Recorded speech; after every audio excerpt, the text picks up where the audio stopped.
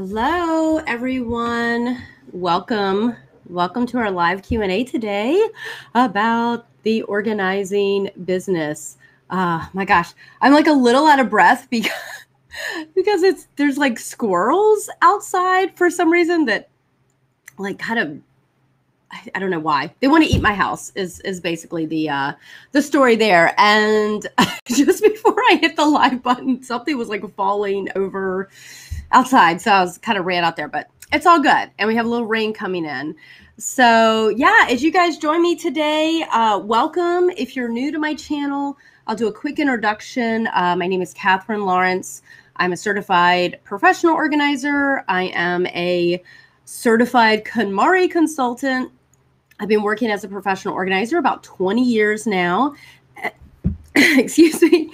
And in uh, just this past year, starting in 2020, I have begun working on the TV show Hoarders as a support organizer.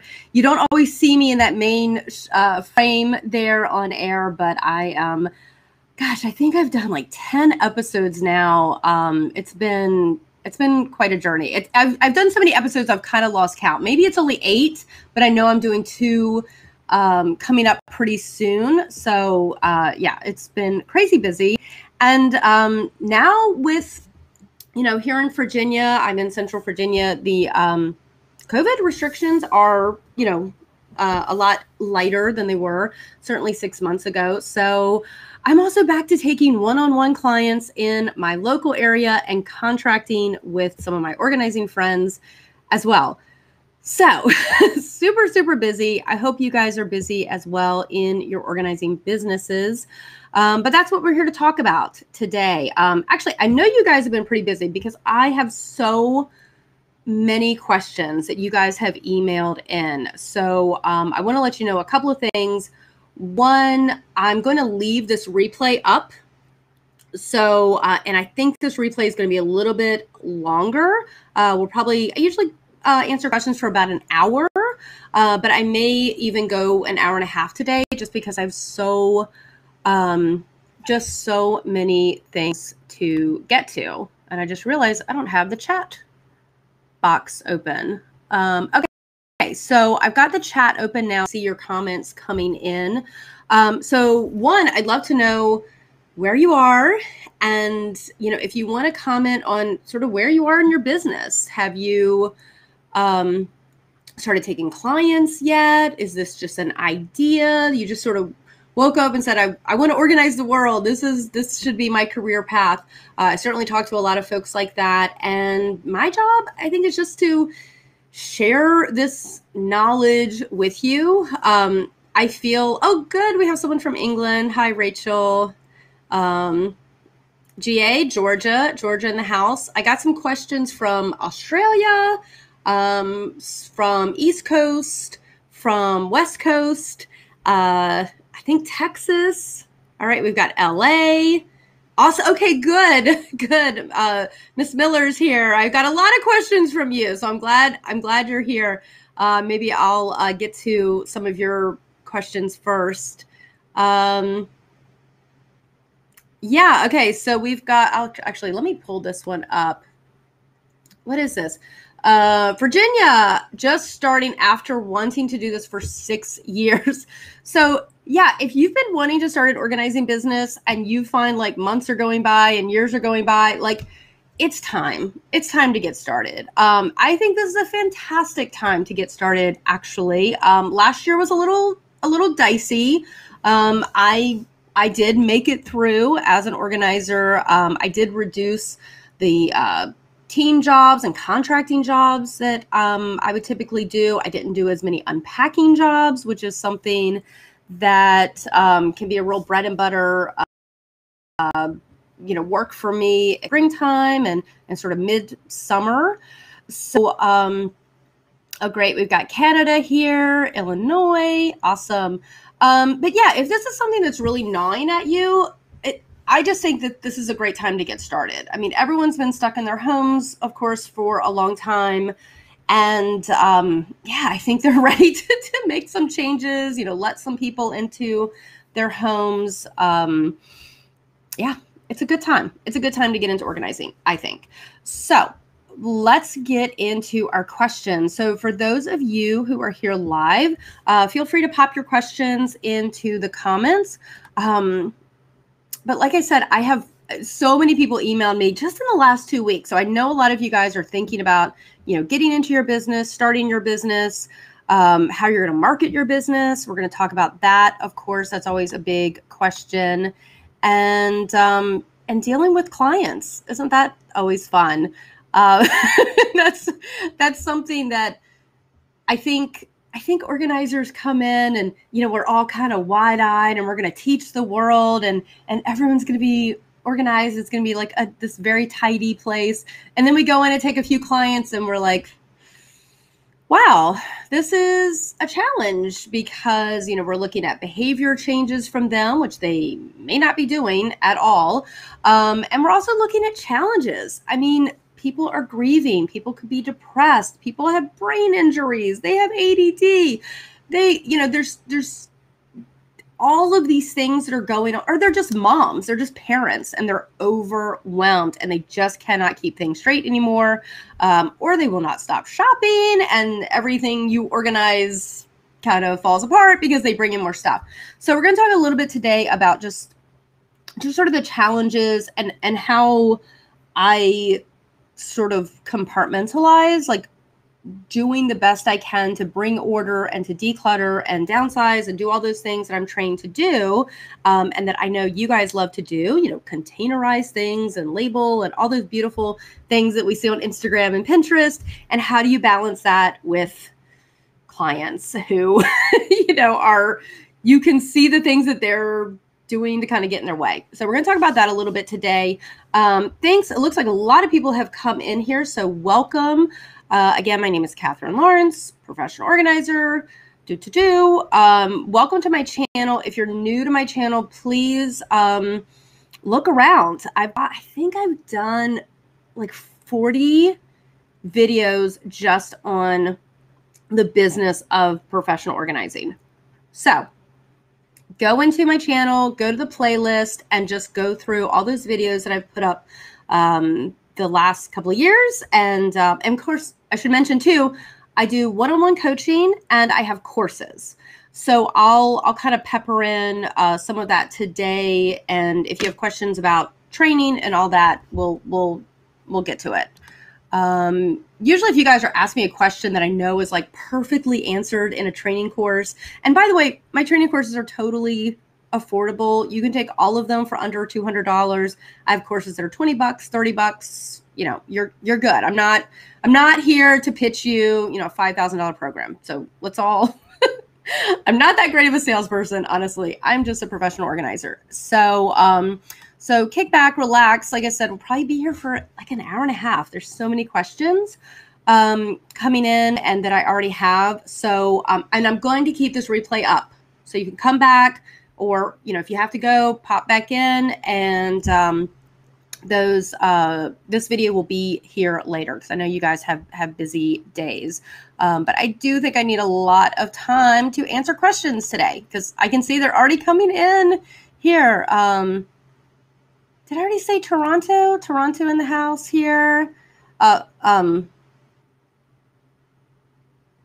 Yeah, building the website. Oh my gosh, completed any day. That's a big deal. That's a big deal. Yeah. Um, let's see who's working on in the beginning stages. Yes, insurance. Please get insured. I usually get a question about that during our lives. I've talked about it a lot. Please go talk to your local small business insurance agent. Um, you don't want to ruin your business on your first job because you break something and you're trying to figure it out. Um, so great. I love to hear that, that you're getting insurance. Um, oh, here's a quick, quick one. Um, Nikki about accepting, oh, when, how and when do you accept your payments? Yeah, when is a good question. I mean, how you guys merchant services, credit card processing, super, super easy these days. Um, you can use Square, PayPal. Uh, I have a QuickBooks account. Super easy to do online invoices and credit card processing. When I started my business, this was really hard. You had to go to a bank and fill out a 10 page application, and then they sort of thought about it and they charged all these fees.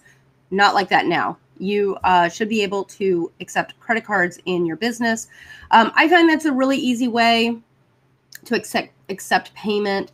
Um, I with credit cards, I would either swipe their card, you know, after a session, or um, what I was doing a lot during COVID to not have people like touch my phone and and all that handling is I would just send them an invoice ahead of time, and um, they could pay it that day or ahead of time. You know, sometimes you guys might want to, if you're doing bigger jobs, get into like taking deposits. And I do that through my scheduling app, which is called Calendly. I did a whole video about Calendly. Um, and you can actually have people prepay for sessions during Calendly, and they're connected. Uh, well, mine's connected through PayPal. So you can get payments ahead of time. You can, I mean, some of my clients are uh, seniors, and I get that old check, you know, handwritten check. You know, that's fine. Every once in a while, I have a client who wants to pay me in cash. Uh, you know, okay, that's fine. I, I get nervous. I go directly to the bank, put it in my business uh, checking account. So yeah, lot lots of options there. You know, you guys don't don't overthink this and do anything too. I know we're organizers, and so one thing we probably all have in common is we like to analyze and we like to overthink things, and we like to find the best tool, the best thing. Um, I will tell you, since I've been in business so many years, I have changed things a lot. It's okay. It's okay to try something out and go, wow, this is really complicated. I'm not going to do that. I remember when I started, I would put together like these folders and sort of print all these pages and these these kind of folders and I have a form in there and some handouts and you know business card all these things and I kind of walk in I'd sort of give this person like a package like a printed package well it didn't take me too long to realize my clients are disorganized and they have no idea what to do with any of that and I kept finding my folder like on the floor in a drawer, just kind of randomly stuck in the kitchen. Like I said, okay, forget this. I'm not giving these people a bunch of paperwork that's they don't know how to organize or what to do with. Uh, so don't really do that too much anymore. Everything for me now is um, electronic. You know, sometimes I'll print out kind of a one-page client agreement and uh, to bring to them, and then I bring it back to my office and scan it and keep um, uh, and keep the copy digital. I'm, I'm a big digital person these days. Don't like the paper. Uh, yeah, Bell, total overthinker. What is it about organizers? I, I've heard this from almost everyone that I've coached. Everyone that are just like, I got to get it per and perfectionism for for you know just put, put that aside. Because you're going to try something out. You're going to have this brilliant idea. You're going to get up in the middle of the night. Oh, I need to do this in my business and market this way and that, and then if it doesn't work, drop it, get to go going with something else. I've done that a million times. It is fine. It's all going to work out. Uh, most important thing, you have clients and that your clients are happy and that they refer you and hire you again and give you a good review on Google or Facebook, uh, give you a testimonial. Those are the important things. You need to connect with those clients, you know, your ideal client and form a relationship with them. That's that's going to take you really really far. Okay, so let's get to answering some questions. Um, yeah, I like this emoji. Yes, marketing. I know the marketing thing, guys. I feel for you because I don't have a sales background. I don't have a marketing background. I've had to figure all of this stuff out just trying to build my business on my own. Uh, thankfully, now I know a lot of things that work. So I'm going to share uh, those with you guys. And there's lots of just great things you can do, even if you're introverted, even if you don't have a big budget.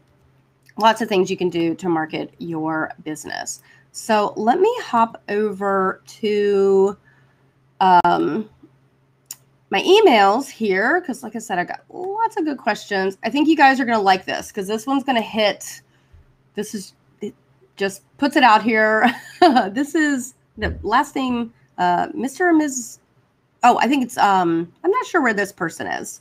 Uh, but um, I love when you guys tell me where you're you're from, but you're you're gonna like this question. Okay, and I'm gonna put it in the comments. It's gonna look like I'm asking these questions because I can have my name come up here. But let me see. Did I get it? Okay, so if it says restream, those are some questions that I've um I've gotten in my email. But I love this one because it's just like, here's the big stuff. These are my questions. Okay, figure out my niche. How do I find clients and what do I charge? So, big questions. I get these questions a lot. So, I'm going to go into like quick little detail, but I I, I think um, I want to direct you guys to some free resources because these are kind of bigger questions that you may want to sit down actually for a couple of hours and kind of plan. Okay, here I am talking about overthinking, and I'm like spend a couple hours doing this. But these are really these are big things. These are big things that are going to help you um, kind of figure out where you're going in your business. Okay, so the first one is your niche. Now, if you guys have taken my courses or coaching or uh, you know, Facebook workshops or anything, you know I'm always talking about your niche in the beginning because it actually fits in with your marketing. And the bottom line is you cannot go out and market to everyone. It, it is impossible. It, you would, it's just, it would take up too much time and you're not going to get anywhere. So, one mistake I see you guys doing in the beginning is you say, well, you know, I'm going to be a closet expert and I'm going to be a senior downsizing expert and I'm going to work with kids to have like a great like homework space and I'm going to set up that and then I'm going to work with busy parents and I've got a program for that and I'm did I already say design closets, you know, I'm going to install closets and you go out on the internet and you see people that have been in business for 10 years, 20 years, have very established business and eh, businesses, and you see that they do all these services. So you're thinking, okay, I'll just build a website and I'll say I do 50 things. But the problem is you're not really known in your community for any of those things. So you haven't really established yourself as an expert in anything.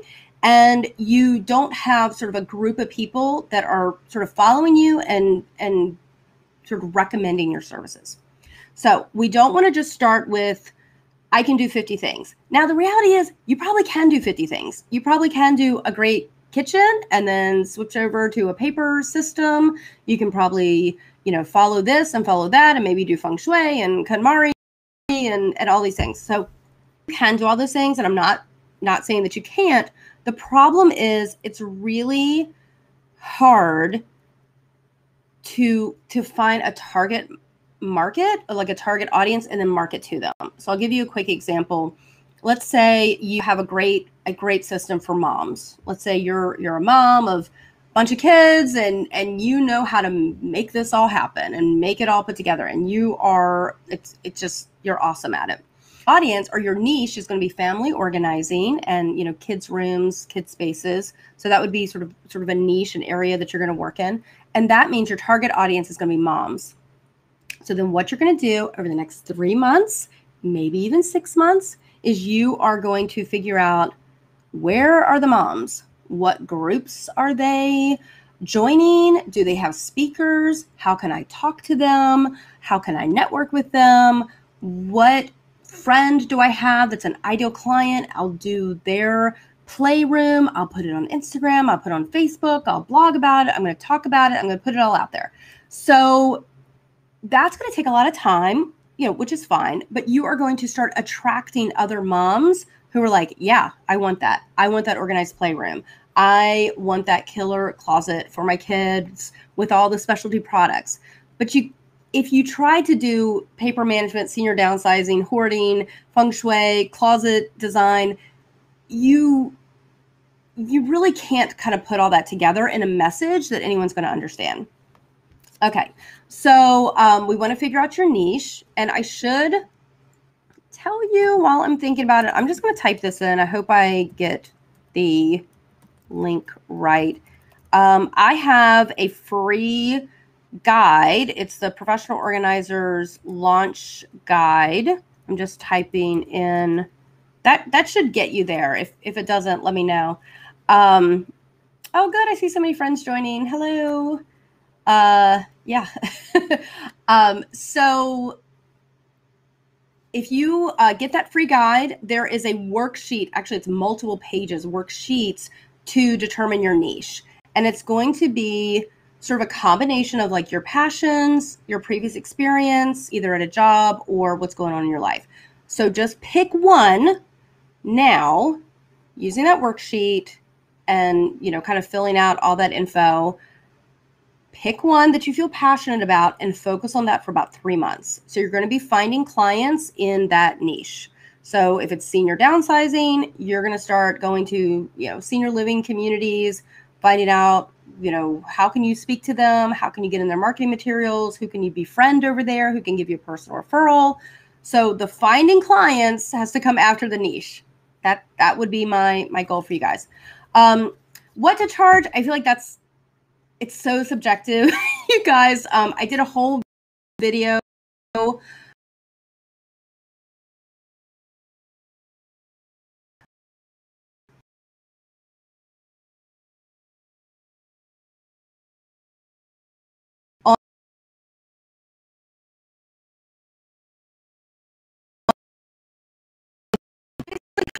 to your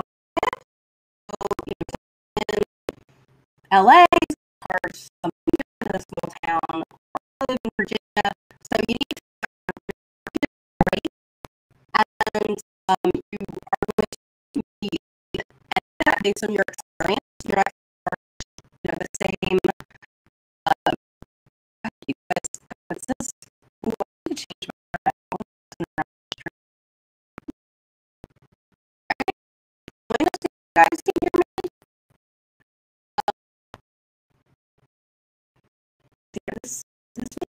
uh, actually, maybe I should jump on YouTube and make sure I'm still I'm still live. I want to change my internet access in the middle of this.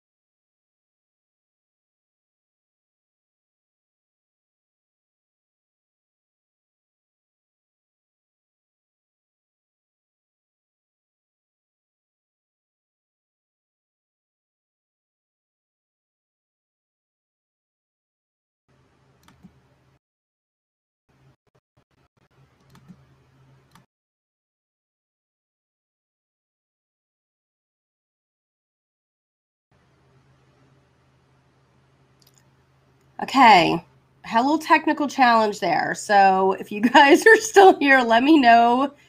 Yes, connection was lost. Yes. Okay, I am back. Can someone let me know in the comments? Oh no, I don't see anyone here. Um, ba, ba, ba. I see that I'm still live. Screen froze, audio is choppy. Um, shoot, let me go over to YouTube. I see that I'm still live, but I don't see you guys here. Ah! Oh, good. Okay, I see people. Awesome. Okay. I think y'all are still here. I lost you at some point, but I'm back. Oh, thank God. Uh, yeah, this is the first time I'm I've lost connection using this new software that I'm using. So sounds like everyone's back here and not sure where you guys lost me. Um, but if it was on charging, I do have a video for that.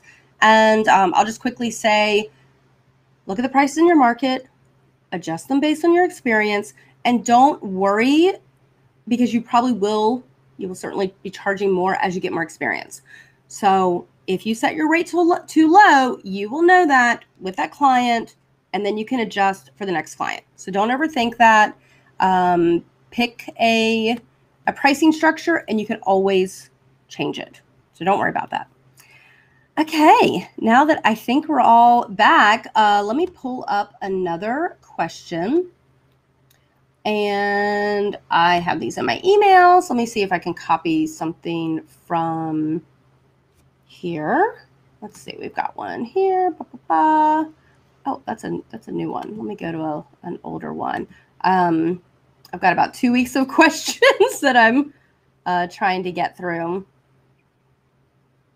Okay, this was this was a really a, a kind of I'm going to give you sort of the tail end of this question, and um, let me type it back in here. Awesome. Thanks you guys for for hanging in there. We're already going to have a long discussion today. so I guess it's going to be a little longer since I kind of dropped out there for a couple of minutes. But it's all good. It's raining here, so I don't have to worry about walking my dog, so I'll be here for a little bit. And this will be on replay. So, not going anywhere. Okay, so this question came at a, a fairly long email, and uh, I think our sender is here in the chat. So hopefully, hopefully you're still with us.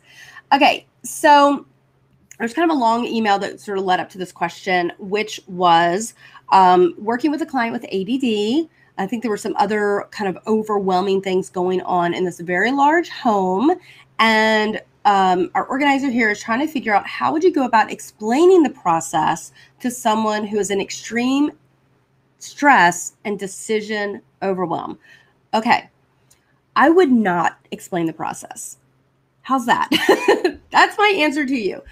Um, the magical thing about what we do, and it's so important what professional organizers do, is we partner with people who are depressed, grieving, experiencing physical challenges, mental challenges, transitions, all of these things and we come in with our skills and these are really important you know our skills of being able to sort things out you know put things in place. We can help that person and we can partner with that person. Now is that person always going to understand what we're doing? Absolutely not. And are they always going to learn from the experience and be able to just organize the way we do Probably not. And that might be kind of hard for some of you guys to hear because um, I think we all, I know I certainly came into this career choice and said, "Oh, I'm going to teach people to organize and I'm going to show them the way and and when I leave, they're going to understand, you know, how to do things exactly the way I do them." And hey, sometimes that happens. You know, sometimes we actually are able to transfer those skills. Um, and you should always strive for that. You know, certainly to educate, transfer skills, and and help people kind of understand um, how this is all done. And so I'm constantly teaching my clients, um, but to keep your sanity and to make sure that you stay in this business and keep a positive attitude I would not put a lot of pressure on yourself if your client is just kind of not getting it. And then you need to decide as an organizer, and this is something I cover with uh, my one on one coaching or my coaching program, because um, I can just ask you guys directly are you okay doing what I call maintenance work with your client, which is which means you're going to be going back into some of those same spaces and reorganizing them. So when you leave, the kitchen was perfectly organized. You come back in a month, it's a mess. You're going to organize that kitchen again. That is maintenance work. Project work is when you go in, you you do it, you you know, you set up the closet, you put together the file system and then you go thank you, goodbye, and you don't really work with that client again or you don't go back and address that same area. So, I have seen organizers completely lose their minds trying to do maintenance work because they can't understand why the client isn't sort of getting it. So just have to kind of know yourself. And then I found other clients who absolutely love maintenance work. They love that they're going back to see the same person. They know how important they are um, in their life. I have a few senior clients um, that I that are maintenance clients hey, I'm checking in. Some of them don't have family, and I'm coming in every couple of weeks and checking in on them. I'm organizing their papers. I'm keeping up with some of their finances. That's great. Um, but you have to have a patience for that. So just keep that in mind that it does happen.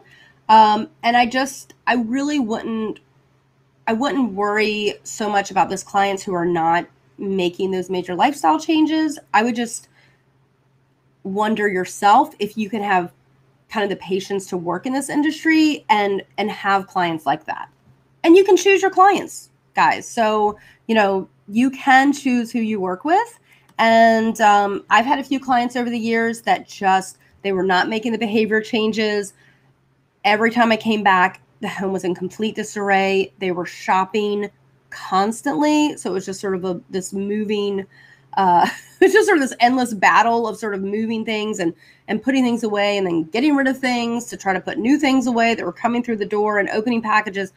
I said, enough, you know, I, I can't do this. So I um have decided sometimes with with the shopping, I just it's it's not a good fit for me. And um, that's going to be your choice of who you work with because you're in business for yourself and you can make those decisions. So I hope that helps. I am, let's see, I'm going to copy, let me go back to my email questions and then I'm going to check in with uh, the comments as well. Uh, let me at least get one. Okay, here's I'm just going to take kind of a snip of, of this email. Um, where is she? Was she in? I've got a couple of people that emailed me in Virginia where, where I am. So that's pretty cool. Um, but I don't, I don't think, oops, let me go back. Okay. I'm going to type a question in. So I have that for later, but then I'm going to scoot back up here to our comments, uh, see if anyone asked a question before we got disconnected. Um, yeah, lots of great com. Oh, here's one I think. Da, da, da, oh, I'm gonna have to go up kind of high. Yep, marketing. Um, uh, Gail, I, I'm not. Sh- I don't know. I don't know about grants. Where do you seek out grants? Um, a resource for for you guys. Score. I'm going to type this in. Score.org. Um, those are uh, retired business owners or other volunteers who kind of help you navigate setting up your business. It's um, I know it's at least national. I, I think they're in Canada as well, and they might be in other countries. But go to that website and, and try to connect with a business mentor. Um, I don't know. I did not use a grant uh, to start my business. Maybe I should have. I, I used personal savings. Um, but um, a grant would be would be lovely, lovely way to start a business and, and get some things set up. I have actually had a few people, you know, over the years tell me they they got connected with something, but it, it was local, so I'm I'm not sure. Uh, just check in your your local community and and check with Score and see what um, if they can can answer that for you. Okay, so Emily says you have a program to keep track of clients and payments. So I am currently using HubSpot, H U B S P O T, um, because it's free. I've used some others that were like $10 a month or $15 a month, and they had a ton of features I just wasn't using. Um, with HubSpot, I can keep track of emails, uh, store phone numbers and addresses, and just have like a client database.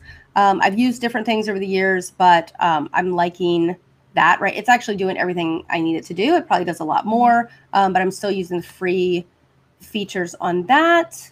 And payments, I I use QuickBooks Online, which is not free. Um, but because I also run payroll in my company, I pay myself as an employee and I have contractors.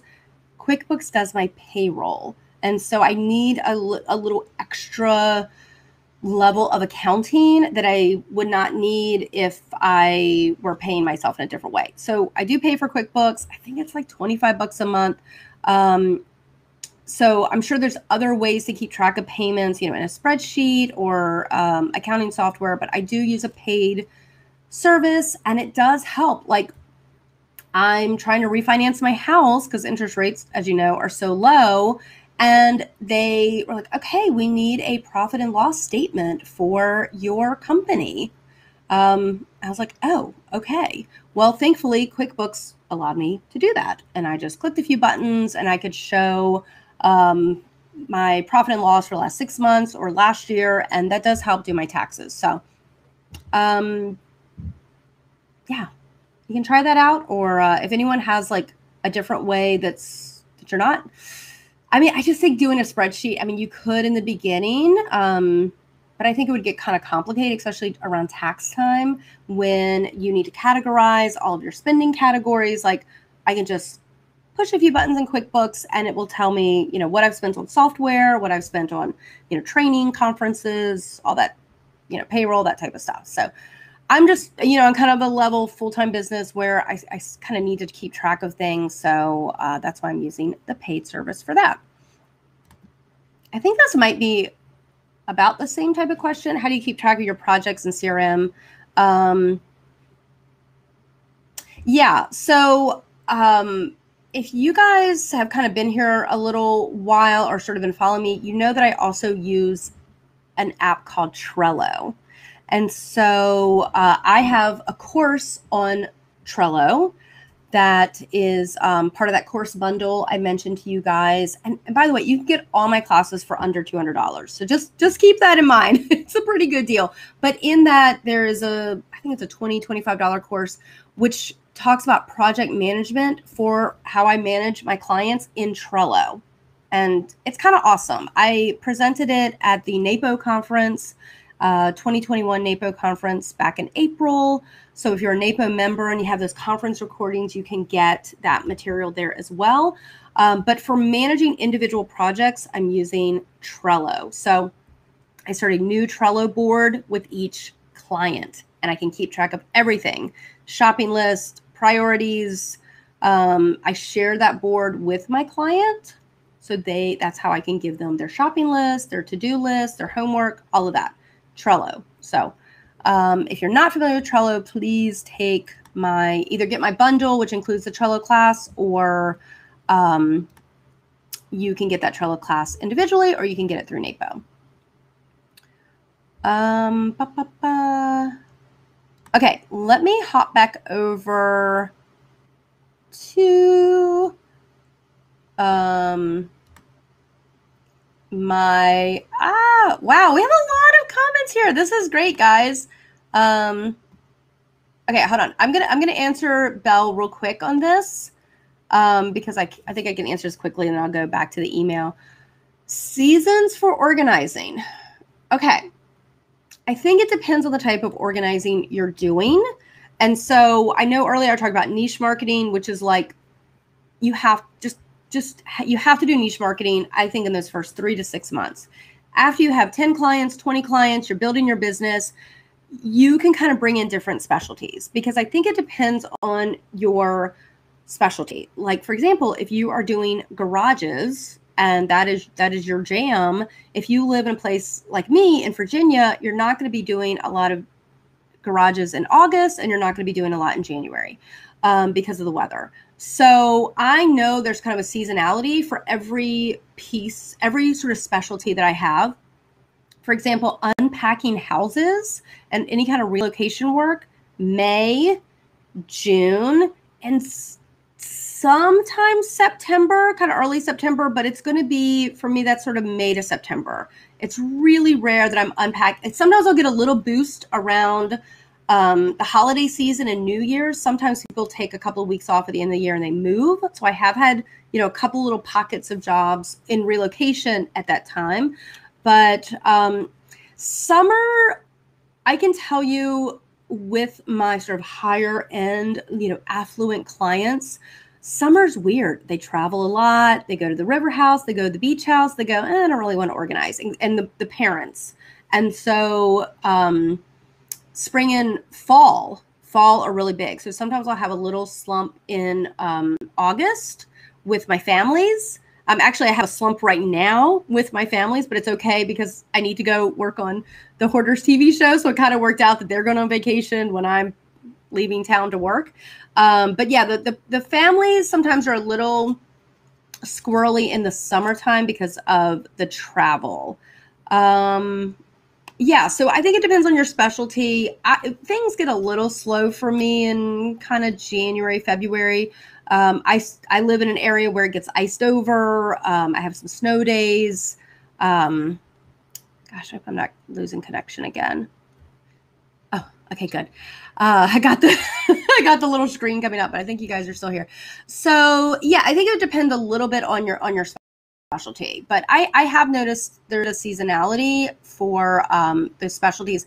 Those big kind of extreme cleanouts, um, hoarding jobs, it's really hard to do them in the winter and in the super of summer. Of course, on the Hoarders TV show, that seems to be when we do them. I've done a lot of shows where it's 25 degrees and when it's 90 degrees. But in my own uh, business at home, I prefer not to do that. So spring and summer, uh, spring and fall, the temperature's a little milder here. Um, okay, it still says I'm live, but the software is acting funny. Let me see. Yeah, I'm not able to show comments, so oh, oh, nope, here it goes. Okay. Hopefully we are still we're still working here. We're still live. Um let me try oh, I think this might be a quick see if I can get this one up here. All right. Think we're still here. Um, all right. Would having a degree in social work counseling be something I I could stress? I do not want to do hoarding. stress like it's something you have. I get specific training. Um, know where I can get that training. Okay. This is super important, you guys. Uh, I'm to be here to a fantastic organization, a nonprofit organization. Oh, now I'm looking at myself on YouTube and nothing's happening, but I know there's a little delay. So,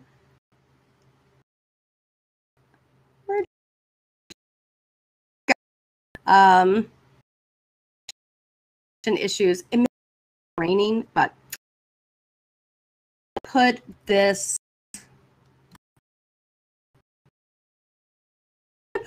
here for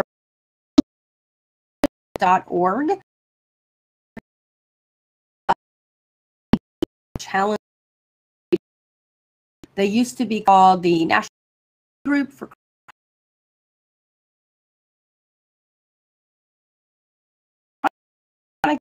this organization and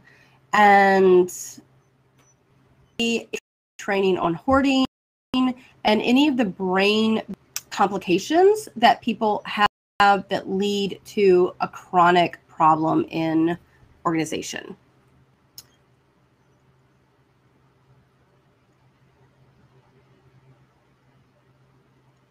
Sorry, I'm still here. It just looks like I'm losing connection. Let me see if I can change. All right, I'm going to try to change to another.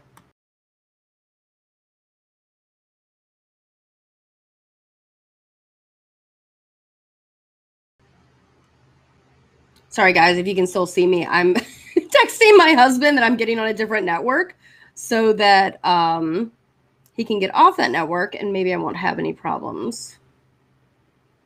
Get on.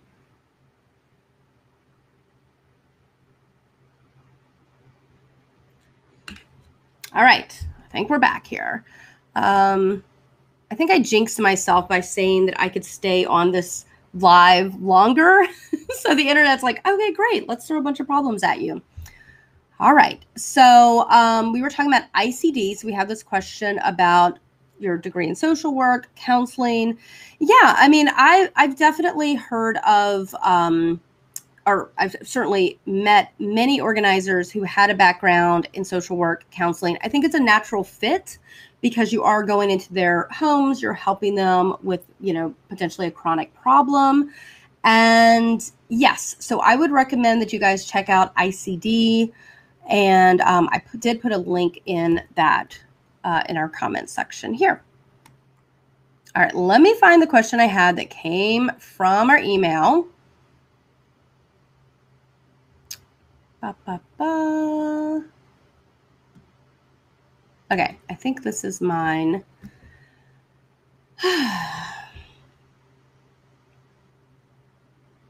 okay, so question about business license portfolio and how to even begin to start organizing a space, which in this case is a closet.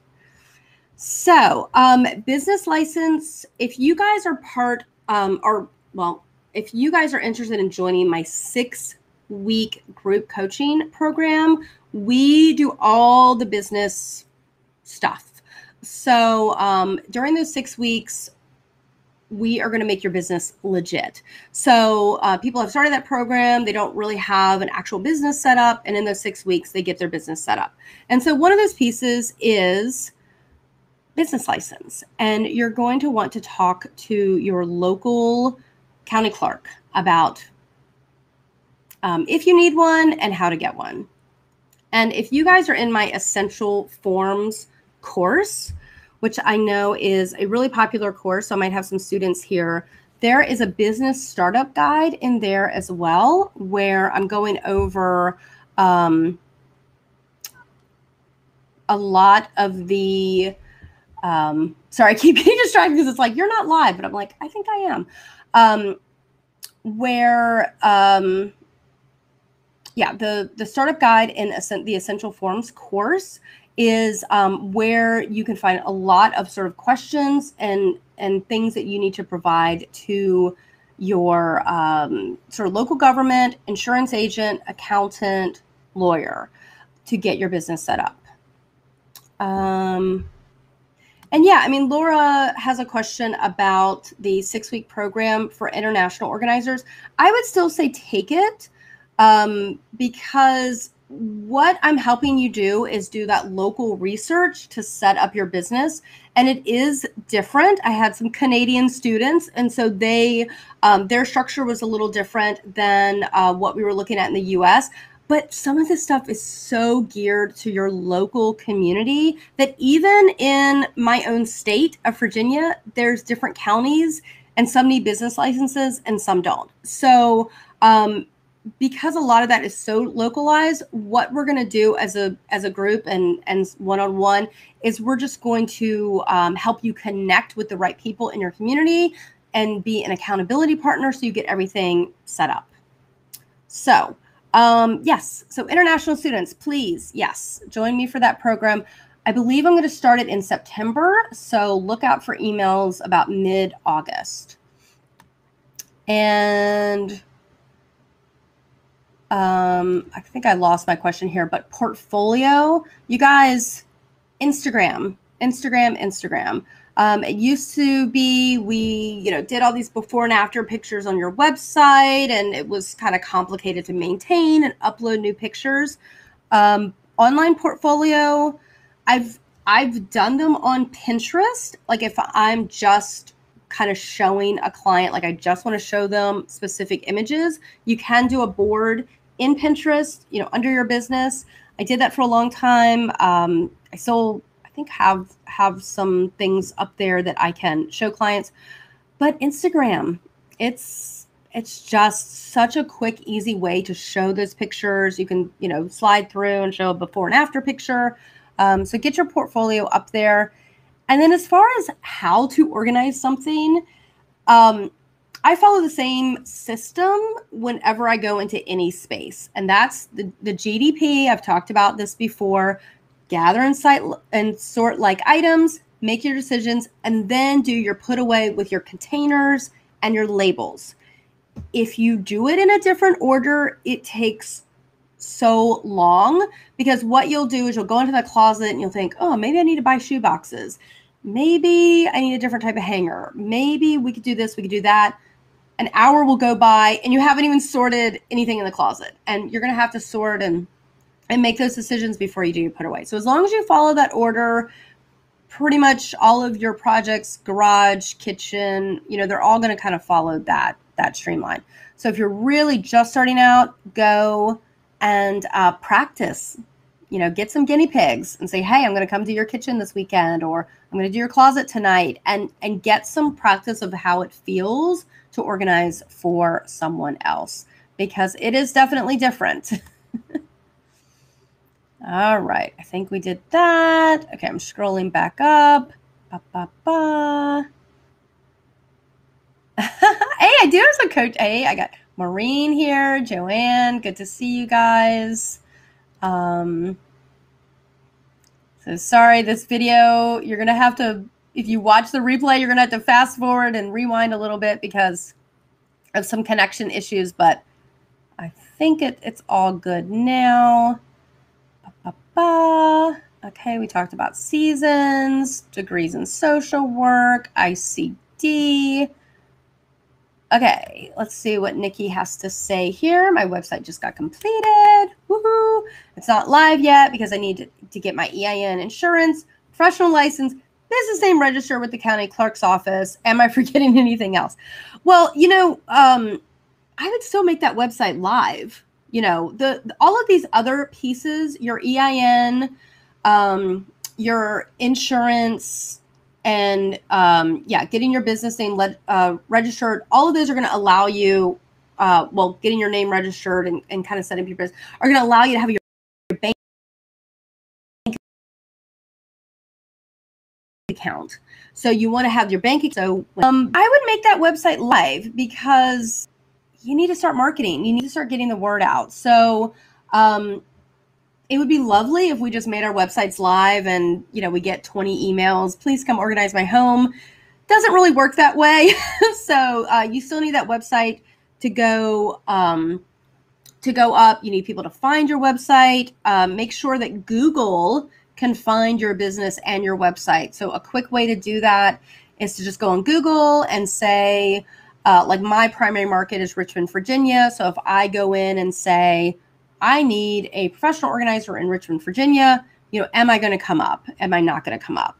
Um, that's a good test. So wherever you live, just say organizing business in, or if you have a specialty, you know, closet design in, you know, Austin, Texas. You know, put that in and make sure that your business is showing up. If your business, if Google doesn't recognize your business, you you need to go through some hoops. They have to like mail you a postcard. And so all these things are going to take a little bit of time. So I, I think it's fine to, you know, put your website out live and then make sure you have your insurance and your sort of method for accounting for, you know, taxes um, and collecting payments set up, you know, as you start working. Um, yeah, that's all I'm thinking. You know, business account or uh, banking account and um, you know, kind of how to structure your business. Uh, even if you have an EIN, you know, that's just a piece of it. So there's different ways. You can have an LLC. You can, you know, be a sole proprietor. So you probably want to talk to a lawyer, lawyer and or accountant to just make sure that um, things are set up properly to pay your taxes. And yeah, start marketing your business. You know, get get the Facebook out there, get the Instagram, and start networking, you guys. Networking is key to uh, getting your clients.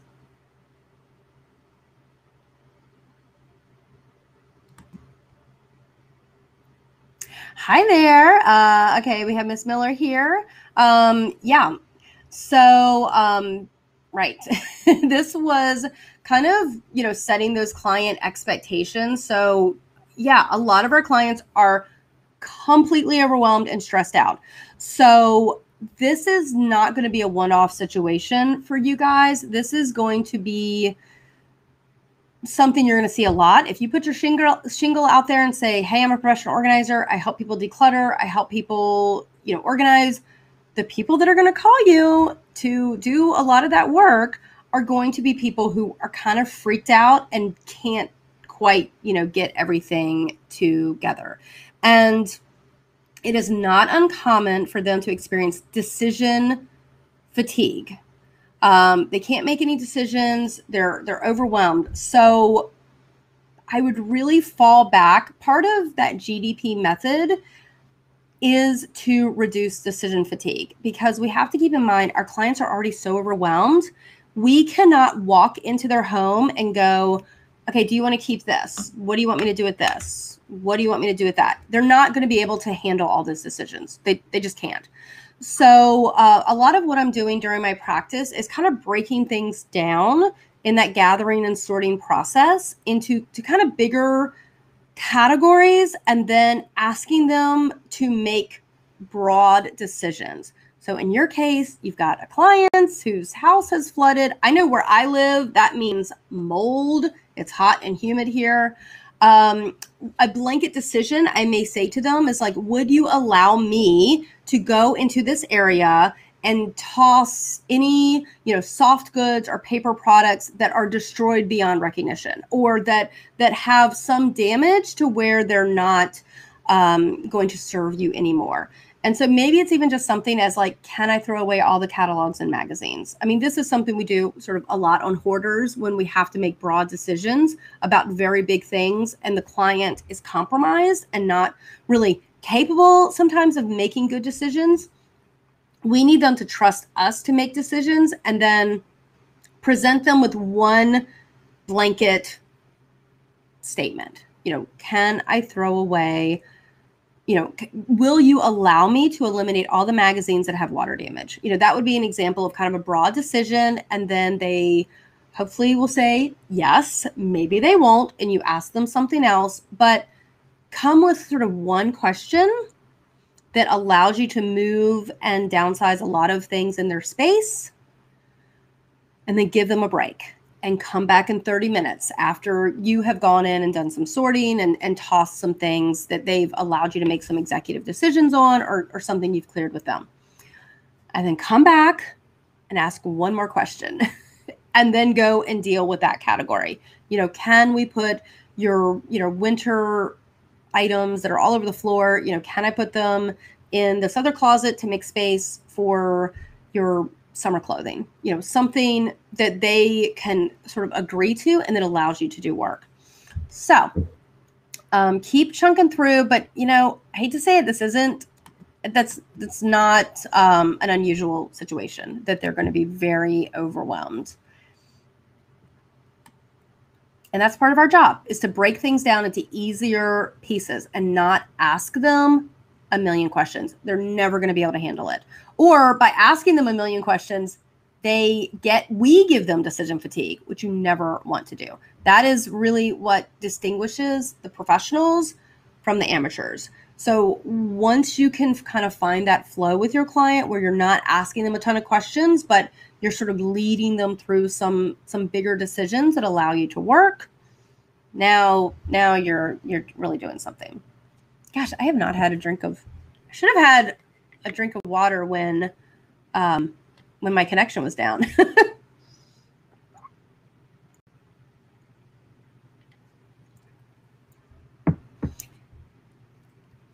Yeah this this is a great question here um, how did you get your first client? I'm about to start and figure out how to get my first paid client. So my first, I'm trying to say, I had some friends in the beginning. I don't, I don't, I didn't charge them. I did some pro bono work. So my my first clients were pro bono, and I did a home office, I did a kitchen, I did a couple of closets. I helped a, uh, a friend unpack. I took pictures. So I was like, okay, do I know what I'm doing? Yeah, I know what I'm doing. I can I can do this. I can do this for a job. So your very first clients, uh, you may want to have practice clients because you just have to kind of get in, into a little bit of a, a role with this. Um, as far as getting paid clients, and I have a great video on my YouTube channel. It's an interview with Laura Souders. And if you look at the thumbnail, it literally says, How did I get my first client? or How did I get my first paid client?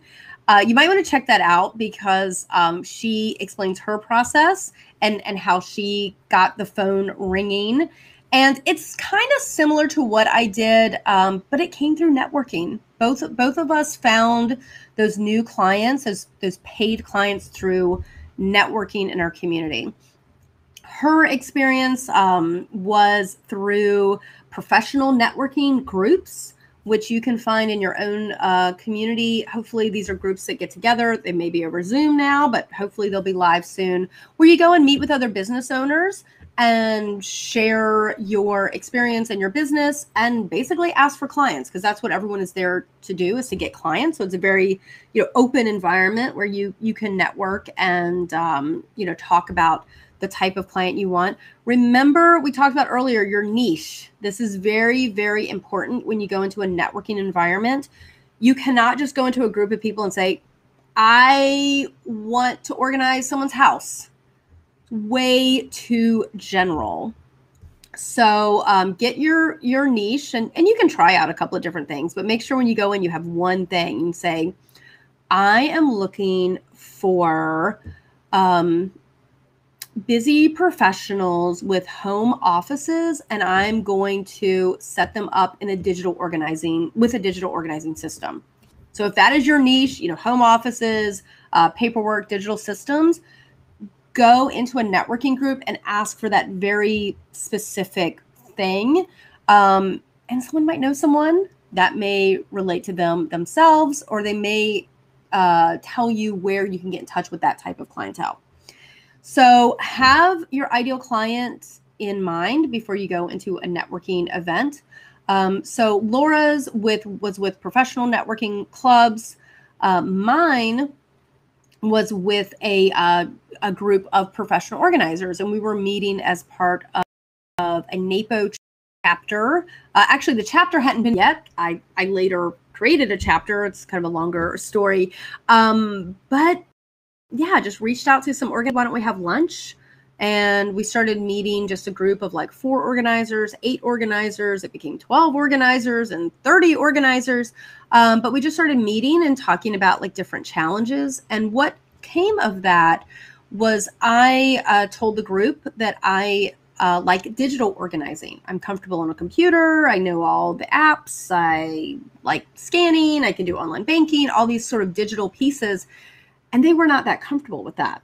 So what happened happened was they um, allowed me to come in and work with clients that they were already working with. So they came in and they were doing the closets and the attics and kitchens and i would go and work in the home office space with paper and digital systems. So that was a specialty of mine starting right off off the bat and i was able to get you know 12 to you know 16 hours of work right away once I started networking. So, um, and that gave me momentum to reach out and, you know, start doing other marketing. So, uh, I think networking is really key and then getting in front of your ideal audience. Um, so, after that, I started doing presentations locally and I would always get leads and, and connections, and I would work with people that came to a presentation, um, which is an awesome way to kind of build on that. So start with that ideal client so that you have something that people can kind of grasp on. You know, don't be very vague or general, or don't say that you do everything because it's hard for people to refer business to you. Um, I'll thank you guys for sticking in here. I told you it's going to be a long one today, but I see a couple of the same names, and that that's great. That's great. Uh, we're definitely going to go over our hour today with all of our connection problems. But like I said, it's raining here, so I don't have to worry about my dogs. That's usually a big thing. For me, at that three o'clock hour, they start scratching on the door and say, let's go, let's go. Um, after taking your complete training certifying, do you have a badge that we can put on our website? Um, okay, so Nikki, a couple of things here. So, certif- so there's training so I have um, my training courses, and with the introduction to professional organizing, you will get a certification of completion with that.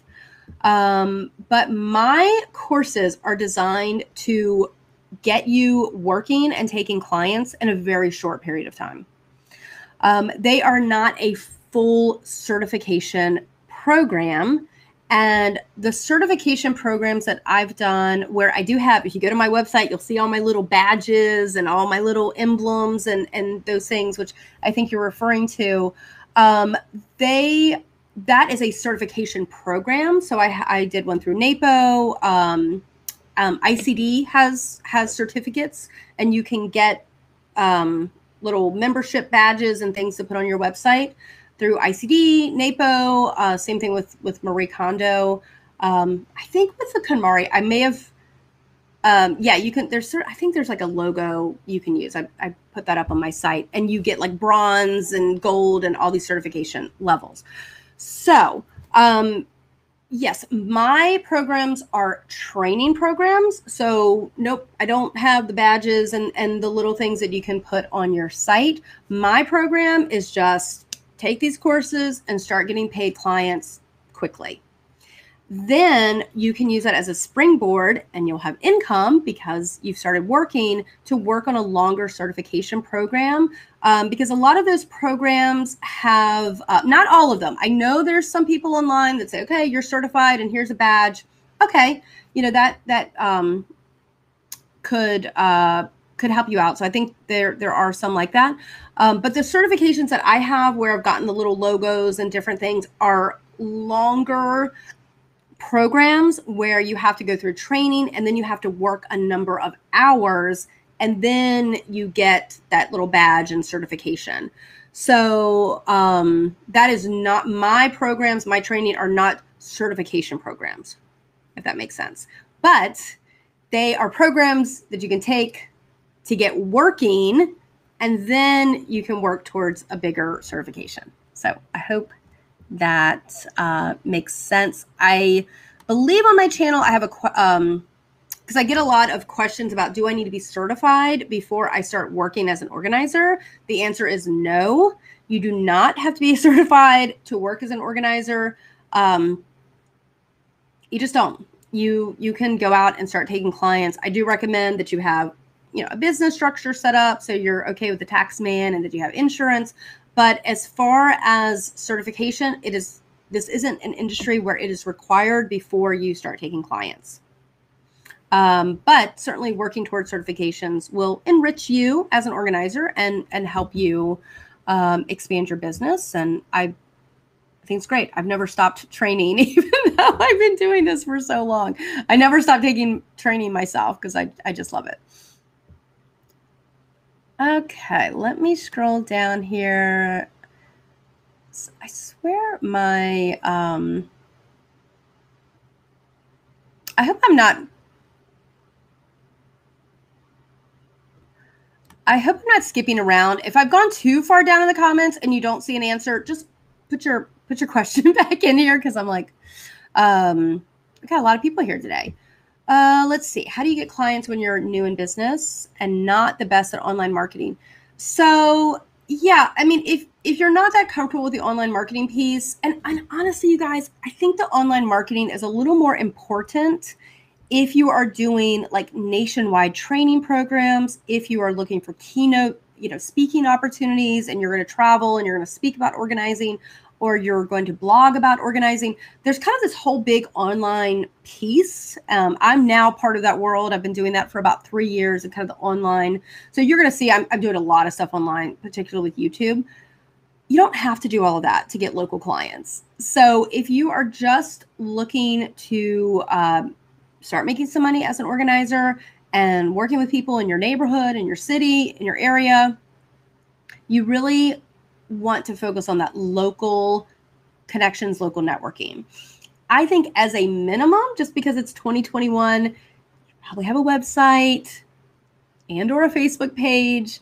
And Instagram is where you're going to get a huge bang for your buck with showing off your work. So we talked about that as your portfolio. You don't need to post, you know, five times a day. You don't need a million followers. You just need something that shows, hey, I'm in business. Here's some examples of my work. Here's what i think. Here's what i'm looking for. Um, so keep that in perspective. I know you'll see organizers who have like 200000 followers on instagram or a million followers on youtube. That really is a different business model and you don't don't have to worry about that. So uh, soon um, i do have a video on my youtube channel about setting up a website and sort of like five things to include in a really basic, simple website that you can do on uh, Squarespace. So you might want to check that out. Um, but if if it's not your thing, just keep it super super simple. You know, basic website and or Facebook page, maybe Instagram, um, but focus on your local marketing because that's where you're going to get clients. And then when you get a few clients, you're going to ask those clients for referrals and testimonials, and you're going to take pictures. And then um, you're going to be getting, you know, that one client should turn into three clients. And then those three clients should turn into nine clients because you're going to get referrals from your um, existing clients. And you can absolutely build your business that way without being an online um, marketing genius. I feel like I should pop over to the emails too. I don't I don't want to leave those guys hanging too much. Um, one of my clients asked me for links of products, but she never bought them. I'm so so I couldn't post good before and after pictures. Let me tell you, uh, should I just buy products and and ask them for the money? No, no, don't do that because they don't have any obligation to pay you. Um, I feel your pain though, Laura. Um, okay, this is this is a struggle because we're we're not gonna we don't want to just buy products and you know pay for them ourselves. That would be um, expensive. And we don't want to force our clients to buy to to use products. So um, yeah as far as getting those beautiful pictures on instagram i've got a couple of hacks for you guys. And um, spoiler alert probably at some point this year i'm going to put out a little little 10 15 dollar product that's going to kind of explain a lot of the stuff for you on Instagram. So, um, but I've got a couple of hacks for Instagram. So, um, one is you absolutely absolutely buy products for your own home and take some really nice pictures because really what you're trying to do is showcase a particular product and that might even inspire your client to have that product. So, you know, I like these IKEA pantry bins. I use them in my own pantry. I'm going to be getting them for my home office closet. So I'm going to take some pictures. I think I have um, a picture on Instagram. And then when I'm working with a client and they're like, I don't know, I don't really want to get products, you know, can I just put some on the shelf? I'll pull up that picture of my own house, you know, of my own, or it's kind of staged, I think, just like on a, uh, on a counter or something. I'll say, but look how, you know, hey, look at this. Does this look good? And that might entice them to to get that product. And then you can certainly take a picture of it in their own home. Um, I've seen organizers go into IKEA or container store and hold up a product, and that is their Instagram post. And they're like, hey, isn't this great? So you can still have Instagram posts that are not the perfect before and after picture. Um, also what you can do for your after pictures is get like a, a good like close-up picture of something that you've done. Um, may not have product may not have product but it's really hard you know unless like i said they're buying all the product and and also just that their house has to be like well lit and everything has to kind of fall into place and you get these beautiful pictures. Um, you you might not be able to, to to get that but what i've noticed is i can kind of zoom in on like some smaller areas like just inside of a drawer or just sort of you know one um sort of bin in in a in a you know kitchen cabinet. And i can i can i can show some pretty good you know after photos. Um but as far as you know the ones you see on instagram where it's beautifully lit and everything is new um I can't say for sure, but I would bet money a lot of those are staged or they're in their own homes or yes, they got that sort of holy grail client that's like, yeah, spend a million dollars to, you know, organize the inside of my refrigerator. Um, it certainly happens. You know, we we saw a lot of that on the home edit show. Um, but yeah, I would still encourage you to do something on your Instagram account. But it, it I I feel your pain. It is a little bit of a challenge to get that. Um, but yeah, I think you can still get a couple of good pictures. Or um, I've actually I had a client one time. This was early on when I was doing my own website, and I said, "Hey, I'm going to bring some things in from my house, you know, some bins, and take some pictures." And and you can do it that way, um, or work with a local photographer and and kind of stage some some things as well. So you can explain your system, your process. You can show what you can do but sometimes it's just it's hard to get that beautiful after picture. If your client decides they don't want to buy products which uh, can certainly happen. Um let's see. Gail read out my own policy section. Um yeah i mean i would say uh, as far as uh, getting a lawyer to write up I don't know, a policy policies you know, you I would definitely have a lawyer review everything that you're kind of doing to start your business. For me, it's the contracts. Like if I'm actually um, asking an employee or a subcontractor or the client to kind of sign something and um, engage in like a contract, uh, yeah, you want you want a lawyer to look at that. If it's just your like terms and agreements of how you do business, that's that's just what you're you're telling that person. So it's not. Um, I don't know about the policy section, but definitely any any contracts. Um, and you're going to need a lawyer anyway to help you start your business. So um, if you can find a small business attorney that can kind of give you advice on sort of everything and just meet with them, you know, one time, get everything set up. Um, yeah, thanks, Laura. Laura's like, you need to get Katherine's forms class. Yeah, so in my essential forms course, um, which I should I'll put a link in the video description of this. Um, it might already be there. I think I have a link to the bundle, which includes the forms course. Um, yeah, so I have my terms, I think I call it my terms of agreement, my client agreement. And that is me informing the client of like, this is how I'm going to do business. You know, this is my code of ethics. This is how I receive payment. This is how long my sessions are going to be. Um, you know, this is how I work. And so that is a document that you're sharing with your client saying, hey, you know, here, here's everything that I'm doing. And I do have a sample contract in there for uh, bringing on additional help on a job.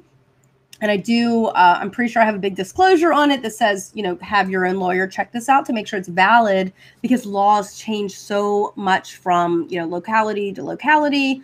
Um, have that look over. Um, but yeah, that forms course is going to help you get, you know, your contracts in place, your client agreement. Um, I've got some action planning pages. I've got the, the intake form. So when you take that client, you know, phone call or, or Zoom, you have sort of an in-house document where you can start taking notes and yeah, all that good stuff. And it's customizable to your business. So it's sort of a, a template, but you can put in your own logo and and you'll you know make your your edit. So it's an editable document. Um, yeah, sorry sorry to be a broken record on this one, but yeah, you're gonna have to you're gonna have to talk to a lawyer about you know if it's an LLC or sole proprietor. I, I can just tell you how I am set up. I am an LLC and um, when I talk to organizers, um, I don't know, a, a, good bit of my friends in organizing do have an LLC that they had a lawyer help them set up, but you just just have to check, you know, put put together your notes and then talk to your lawyer because it has to do with you know how much liability you want to take on and how you're going to pay your taxes and all those fun things. So the nice thing about you know getting your business set up and getting it legit, it's it's kind of a one time deal unless you make major you know changes but it's something you can kind of take care of over a matter of weeks and get your insurance get your bank account know how you're going to pay taxes um, you know get your credit card processing set up get your contract set up. What am i forgetting? Probably something big. Um, and, and yeah your legal structure. So you know all of those things are going to go into creating a legit business. Um, but yeah don't don't be don't be afraid. you just want to get the right advice, you know, accountant, attorney, small business attorney, and and your local officials because you may need a business license to operate in your area. You may not, you may need it, so you want to check with your your local um, community. Um, how does that work when an organizer gives you a lead? Do you completely take over the client? Yeah, I mean, as far as getting referrals from other organizers, you you can do this all kinds of ways, and I think I've done it every which way. You know, I've I've worked as a contractor for another organizer, so if they say, "Hey, I want you to come in and help me with a client," and I want you to do, um, a, a lot of times people ask me to do paperwork because I I think I'm kind of a rare organizer that actually like to do paperwork and I have systems for, you know, digital lifestyle and sorry, I lost my shoe. Um, I have I have structure and sort of systems for doing paperwork, and not all of my kind of organizing colleagues either like to do paperwork or kind of understand, you know, the nuances of of sort of organizing a lot of information and I just happen to be pretty good at that. So, um, a couple of things either they will refer a client to me um, directly, or they uh, may hire me to come in as part of a team and okay you're going to focus on home office or, or, papers and you know we've got some other people in here doing the kitchen or something so um yeah it's you know just that networking and i know i just have to say this because this always comes up I always hear from organizers and they say, "Yeah, I I emailed everyone in my all the organizers in my area and I said, "Hi, I you know, I'm I'm a new organizer. Can I work for you?" And then they didn't hear back or the person says no. Okay, that is not networking. you guys, that is not the way you network. Um, networking is a, a softer introduction, kind of a tit for tat, like getting to know that person what do they specialize in?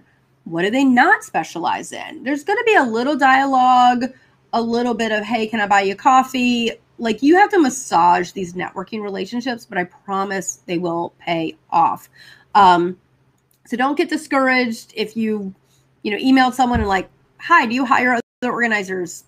Talk to me. And they go, uh, no, I don't want to talk to you. Um, you just a little softer method, you know, find out maybe are they a part of some networking groups or a NAPO chapter or, you know, where you know, do you have kind of friends of friends who are professional organizers and, you know, can you uh will they take a phone call? You know, can you get uh buy them a coffee? Can you take them to lunch? Like, you know, you're going to really want to massage these relationships as part of your networking effort and then I promise you, you you will get opportunities because I think every organizer has a type of client they don't want to work with or a type of job that they love. And if they can refer business out to you, business that they don't want to take, um, I think that's a win win. So you're really looking for that win win with another organizer. How are you going to help them either grow their business as contracting with them or uh, be a referral source? Because we all want to help our clients, but maybe they just don't do paperwork, you know, like in my earlier example. And if they can have another organizer come in and do that, they will do that. So figure out what their special skills are, figure out where your special skills are, and then, you know, start to massage that relationship. Let's see. Yep. Mm-hmm. I started with friends and family. Great place to start. Uh, my family would be too challenging to work with because a lot of them are hoarders. So, uh, but friends, great place to get some experience. Um, yeah, yeah. And so, in, with my training, again, my focus is I want you working soon. like, if you could get a client within a month, awesome. You know, a couple of weeks, like, let's go. Let's, you know, let's. I want to just kind of provide you with the basics to actually get out and perform jobs and start your marketing um, and all those lovely things. Wow. well, good. I mean, this says it just got my second paid client. I'm only 17. How to, yeah. Um, well, first of all, congratulations. That's amazing. Um, so I started this business. This may seem old to you, but when I started my business, I was 28 and I got a little bit of that resistance from some of my clients who were a bit older and they were like you know what do you know? And you haven't had this life experience or whatever. And um, you know i certainly had a little bit of that. But i will tell you most clients you know use that age to an, an asset um, because some of your clients will say you know i can't move everything around in the garage. Or i will tell you even now I will go into clients' houses and I will go from the attic to the basement and I will do that running up and down.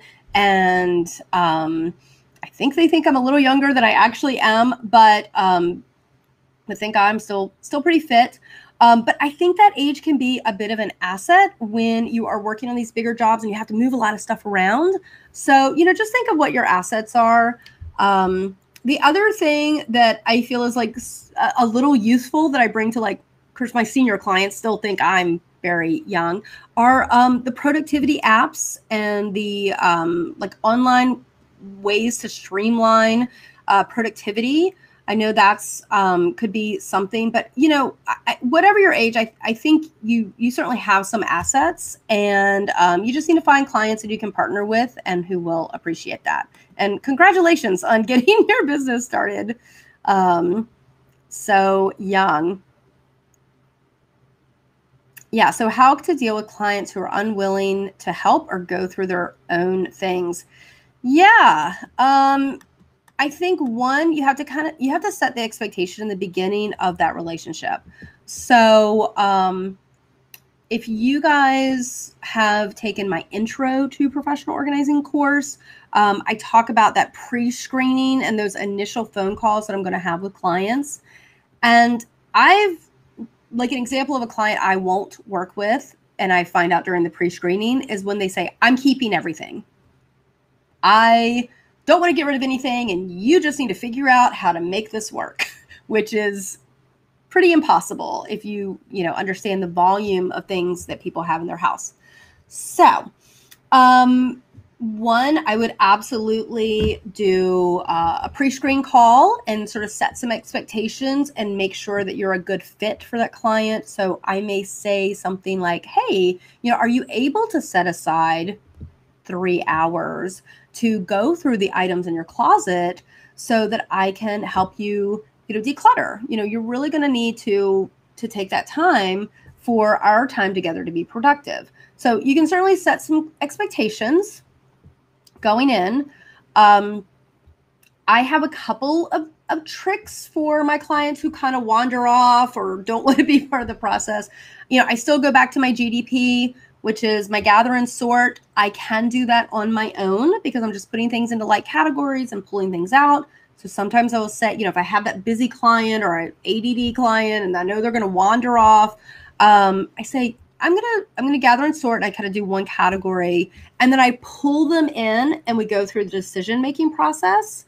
And you know they have to be a part of that. The only thing, you know, if if you know, you might not really want to work with someone who's not going to make any decisions because you're actually not going to really be able to organize their house that well. I mean, you you can, but um, it's tough because now you're just containing all of these things that they may not use, and you don't know what their priorities are, and it's it's difficult, and it's not my favorite thing to do. I'll tell you that.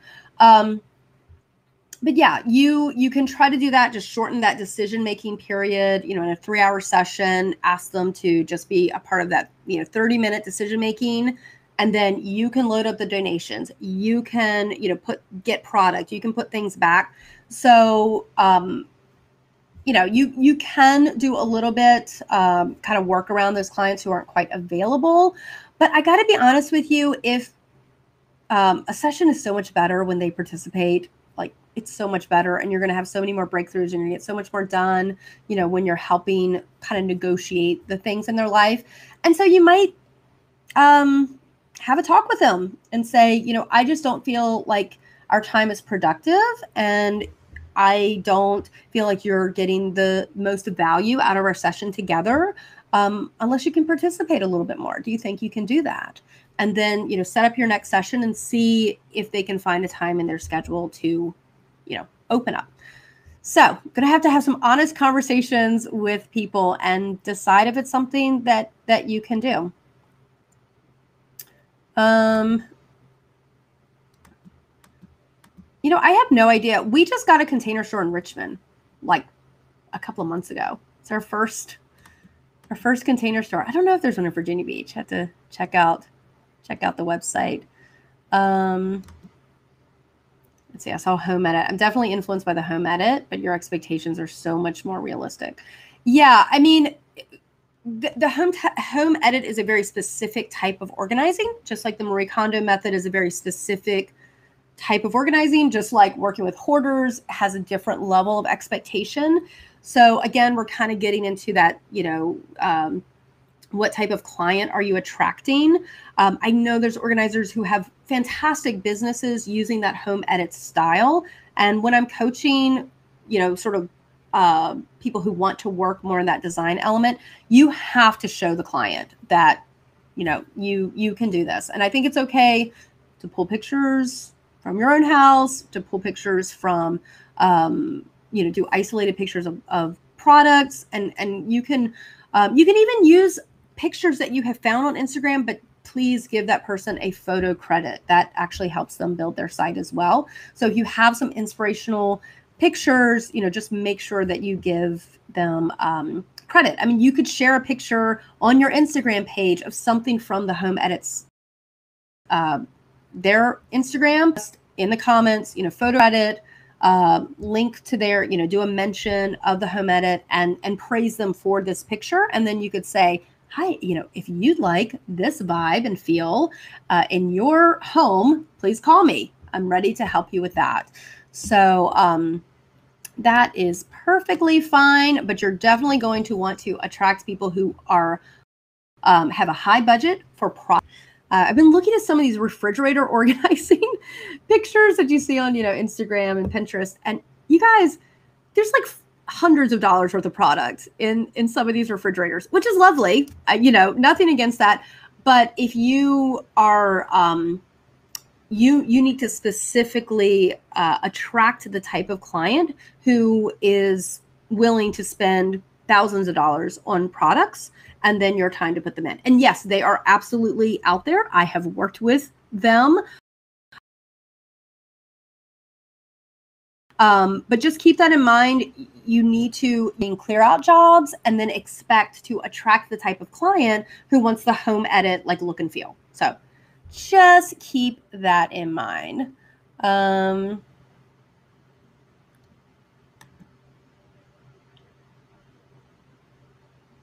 Uh, hold on, I'm gonna. I love this. So 66 should be okay. Yeah. Um, you guys plan your organizing business around your lifestyle. So think about if you love being online and you like taking pictures and you love social media, grow your business that way. You know, if your asset is, hey, I'm young and fit and I can move all the stuff around in your house and I can go all day, you know, you're going to use want to use that uh, in your marketing. If uh and i'm i'm feeling this too like am i really gonna want to i'm well i'm planning let's just say i'm planning for when i'm doing this business at 66 and i'll tell you it'll look a little bit different than it did when i was doing this business in my 20s um, and i'd probably focus more on paperwork which is a nice sit down job and also um, blogging writing speaking. So you know there's lots of ways to make uh, money in the organizing business um, other than taking certain types of jobs. So you can um, scale this business, which is what I love about it because I hope to be in business in, let's say, I've been in business in my 20s, 30s, 40s, and I hope to also be in business in my 60s, but it'll probably look a little different than um, what it is today. Let's see.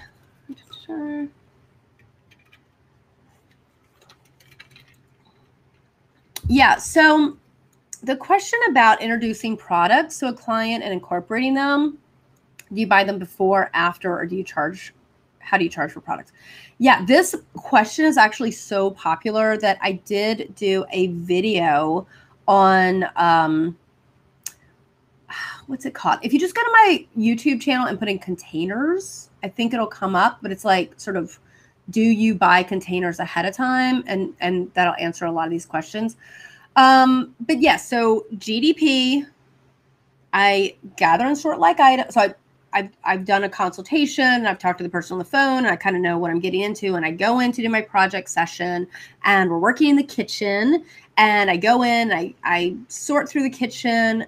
I ask them to make decisions so we can eliminate duplications and eliminate all the clutter, you know, stuff they're not using. And then I'm going to put the products in. And, um, you know, obviously the reason you do that is because if well one most places that i work are are cluttered obviously and not everything is going to fit so if i just came in with like shoe boxes and bins I, i'm still not going to make it happen like it's not a problem of not enough containers it's usually a problem of too much stuff so um, that's what i'm dealing with and probably what a lot of you guys are dealing with as well which is just the the volume of things in someone's house. So um, I don't come in with products first. I do a downsizing, decluttering process, and then as part of my put away, which is GDP, the P is a put away, then I'm going to order my products and do my labels and make everything nice and and pretty and put away. So, um, I get this question sometimes. People are like, "Well, how can you do all that in like three hours?" Which really you can't unless it's kind of a small project. So, um, what I'm I may be doing in like a large area like a kitchen is I'm going to do one session where I do the sorting, decision making, and then I'm going to kind of stage things, or then I'm going to order product. So I may even order the product. I like to order the product at the client's house and have it delivered.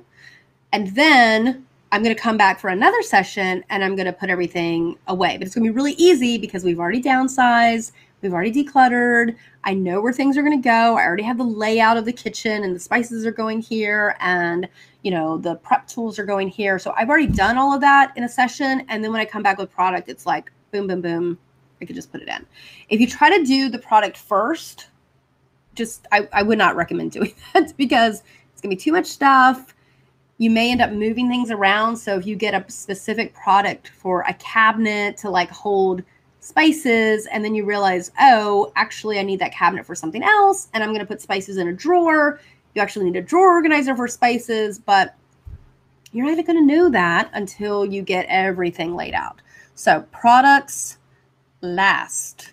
Products last. And um, if it's a if it's really expensive stuff, I, I will try to get the client to just you know order it when I'm with them.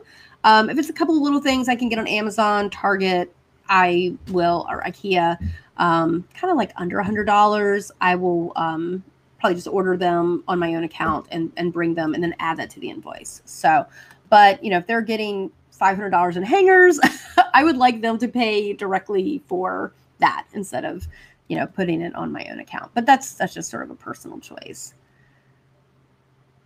Okay, this is the the this is a long one, guys. Um, thank you for sticking with me. I just want to answer a couple of questions that I have on email because I know that um, people are going to watch that on the replay. So let me just go in and see what else I have here. We've talked about so much, and I know some of you guys who emailed questions are actually here.